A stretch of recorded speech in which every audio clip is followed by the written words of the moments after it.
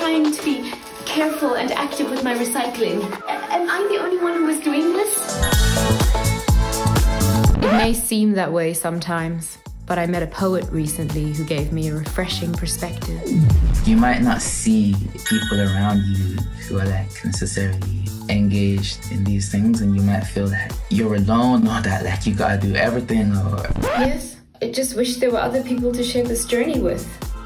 There are beautiful people everywhere doing like amazing beautiful things and you are kind of a part of something here i kind of describe it as divine spider work there are all these different parts of the web with all these different points and we're kind of working together even if we don't know each other yet I'm part of the divine web. You're part of a bigger movement, and your contribution is valuable.